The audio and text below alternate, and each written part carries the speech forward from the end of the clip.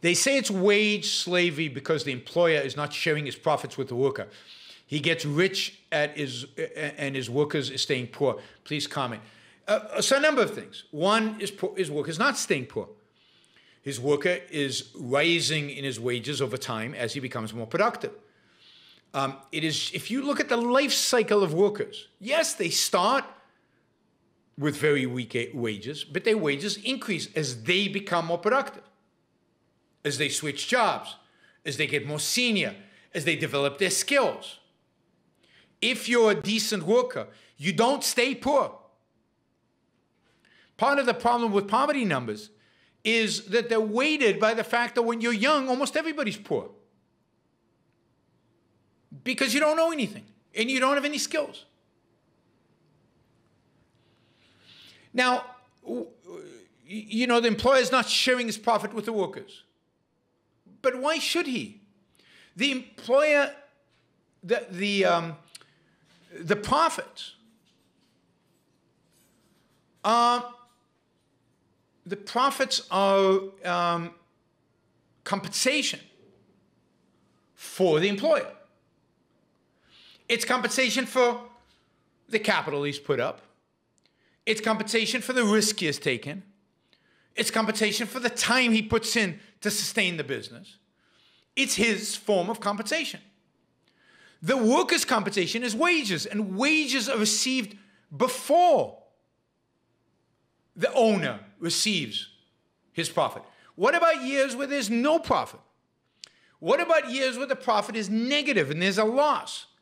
And the, and the um, employer actually has to dig into savings. Sometimes workers lose their job, but sometimes they don't. And rarely do their wages get cut.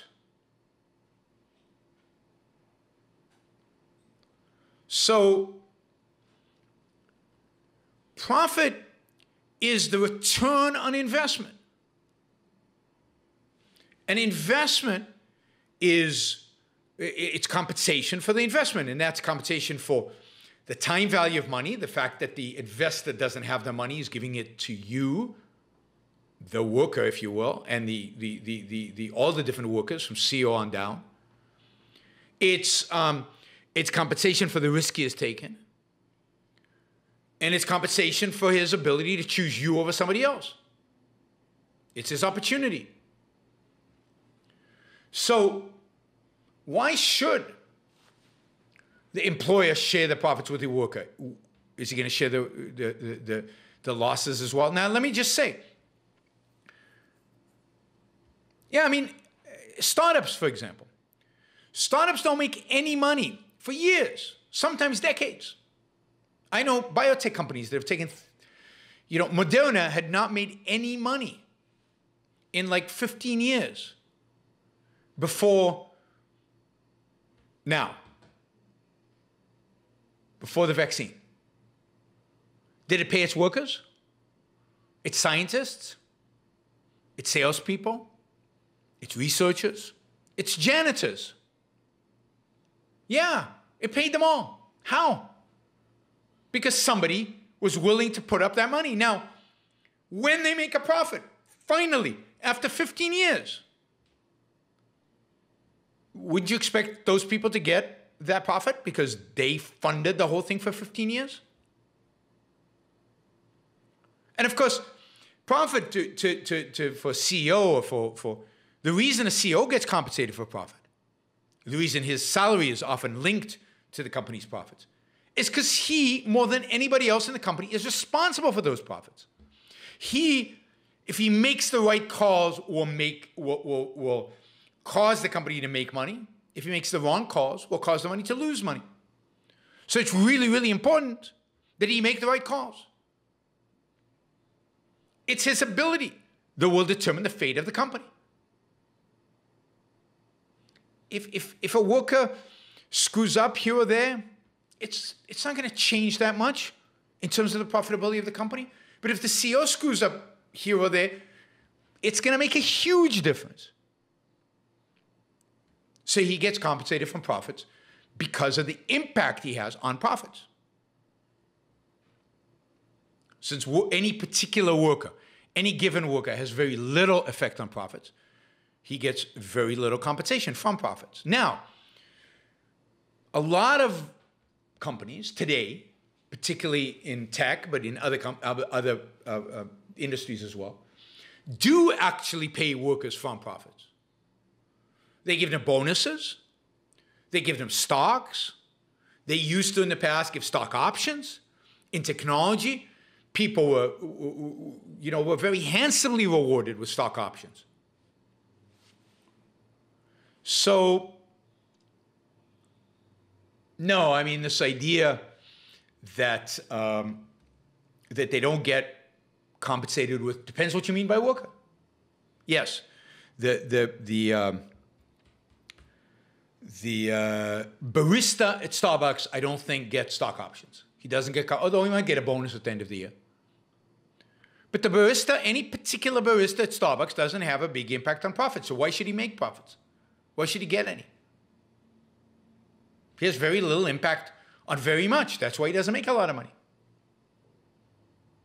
Whereas the CEO, again, has a huge impact on profits. But, but it's even if, but it doesn't matter because slavery is not about profits. The complaint of the slave in the American South was not, ooh, the master's making a lot of money off that cotton and he's not sharing it with me. The complaint of the slave was, I don't get to choose my life. I am not free. Workers are free. They get to make choices. They get to get to go home. They get to choose their wives. They don't get beaten up by their employers. So, no, this debate about profits is an okay, interesting debate. But it's zero excuse, and this is what should not be tolerated. It is zero excuse for the laziness, the moral offensiveness of using the term wage slavery. What we need today, what I call the new intellectual, would be any man or woman who is willing to think.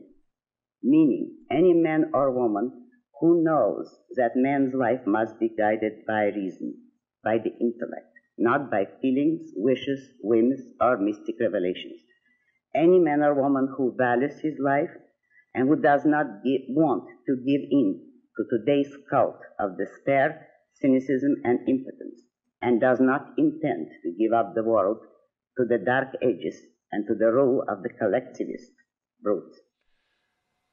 All right, before we go on, reminder please like the show. We, have got 163 live listeners right now, uh, 30 likes.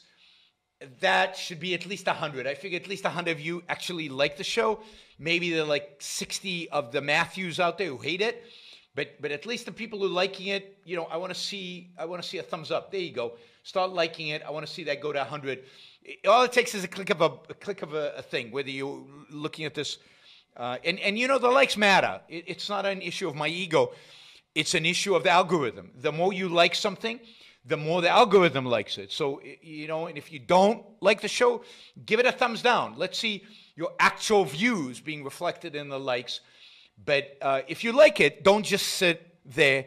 Help get the show promoted. Of course, you should also share, and uh, you can support the show at yaronbrookshow.com slash support or on Patreon or Subscribestar or Locals.